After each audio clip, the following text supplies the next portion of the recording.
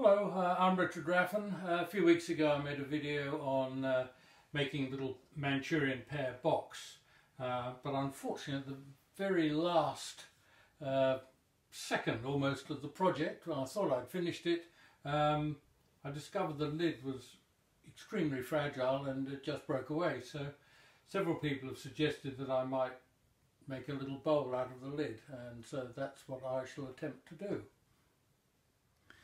So here's the lid and you can see where it broke off so there's a sharp rim here. Now there was a groove on the inside uh, which allowed me to turn the outside so that goes back over the jaws. And these are shark jaws, Vicmarc shark jaws so they're a bit further out from the chuck which is always handy and then I'm going to turn this off using a 3 8 spindle gouge. I'm just coming in very gently, easing the tool in with my thumb.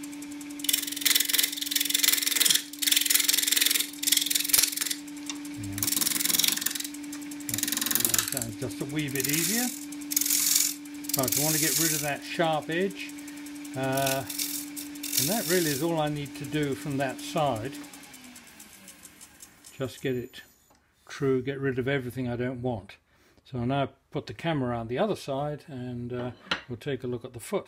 So having moved the camera, I now find there's a teeny little ridge just there, so don't really want that.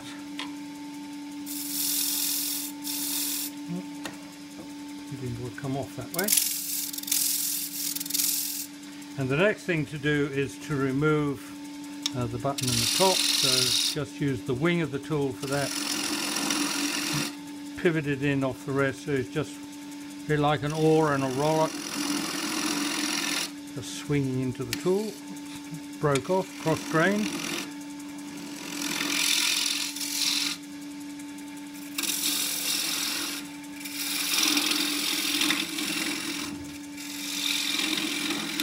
Now, the question is, do I have enough wood? I've got two places where I would like to have a foot. Uh, really, the wider the better generally. But one is these are both divide. These are dividers set to chuck diameter, so we can go. I can go to that diameter or this diameter, which I would prefer. So making a mark with the left so it lines up with the right. So what have I got inside? That is the crucial point. So get some calipers in there and find out. Wrong side.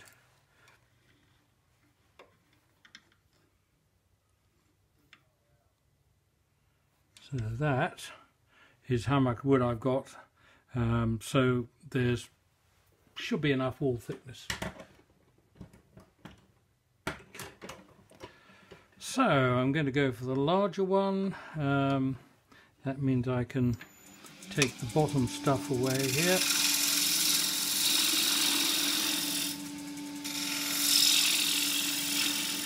Still 3 spindle gouge.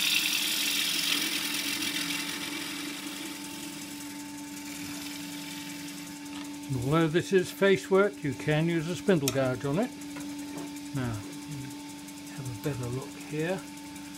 Trying to work around the camera without touching it. So I want the centre with a little bobble just between the two points.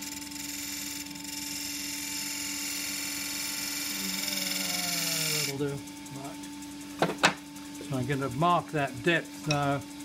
Line the bevel up with the direction I want to go, which is straight in and then I just lever the bring the handle up and that pivots the edge in on the right line and I'm going to take that away. The easiest way to do it was with a square end scraper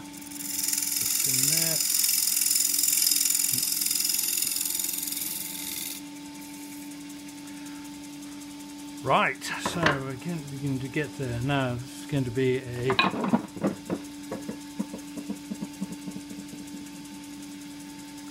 This is the skewed, it's actually a shear scraper with a rounded side, but I'm going to use it flat on the rest here. And that's tilted down very slightly so the angle, it's always important when on a flat surface like this, the angle between the top of the tool and the surface you're cutting has to be less than 90 degrees, what they call the negative rake. And you don't need a special negative rake scraper to do this. This is fine.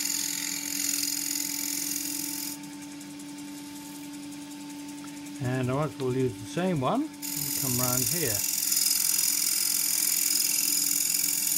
Now the wood we've already ascertained is a bit thin so I'm not going to have a particularly big foot. So 3 8 spindle gouge again right on its side just ease it in on top of the foot and rotate it very slightly. Anti-clockwise you can see where the dust is coming off there. And then I can turn the tool over use the other wing to just do the other side. So that's rounded. Abrasive will do it anyway but and now coming around the edge here there's still the hint of that little rim in there. And I'm going to shear scrape that tilting this tool up on its side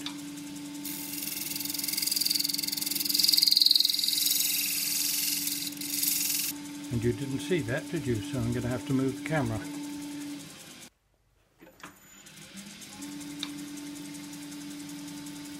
Right, all over again. I don't need to do it, but I can do it flat. Just gently stroke the surface.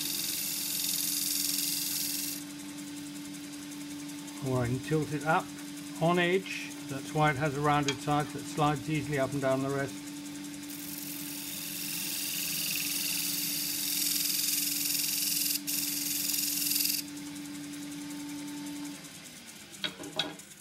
And that gives me a nice oh very nice smooth surface. Um, now how thick is it? Well, I'm going to have to take the ridge out the um, little shoulder out on the inside so I don't think we'll risk uh, putting a bead in there. Uh, I had to think about it. I'll just sand this uh, we start with 180 grit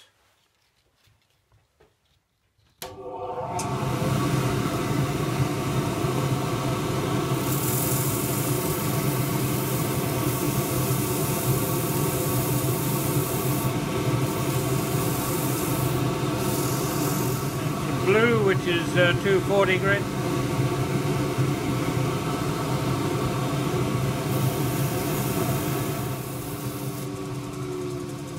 And that's quite fine enough really.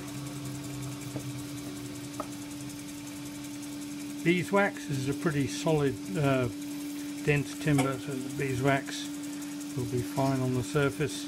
The idea is to build up a sticky layer and then I bring out the sock which is now full of wax. It could almost stand up on its own. And we'll melt it into the wood.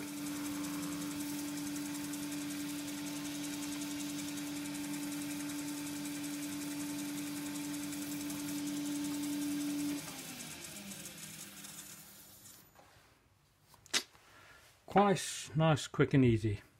So that can now turn round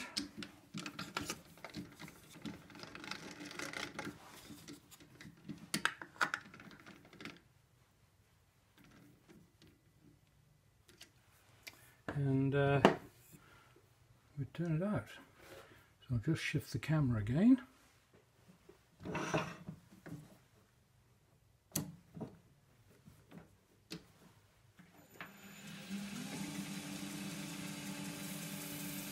Not a huge amount there, so start off with a 3 8 deep fluted bowl gouge. So the fingers are behind, hands on the rest. Um, the fingers are behind the where I'm going to be cutting and the thumb acts as a, a horizontal fulcrum.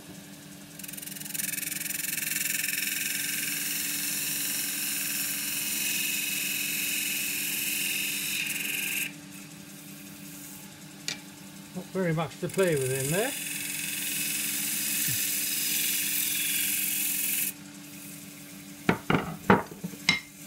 and a bowl scraper.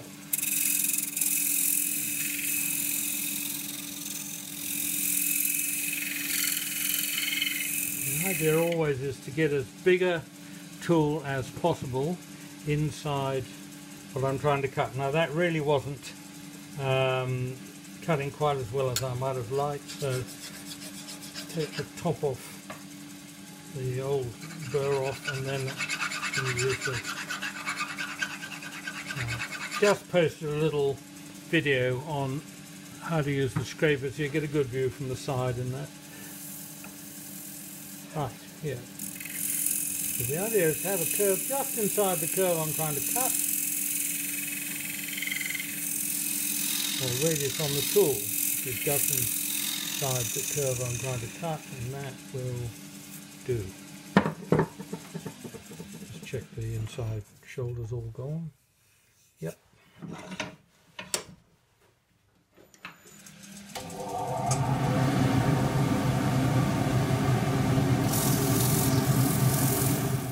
Hand sanding, uh, there's a good chance that some of the grain, uh, especially on the end grain, just gets a bit pulled out so it sits up a bit further.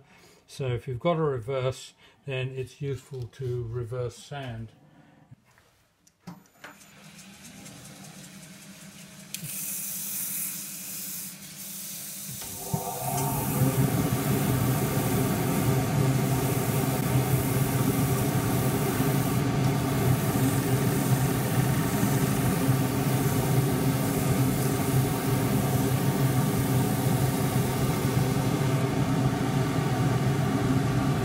and that's removed the sitting up grain just like that.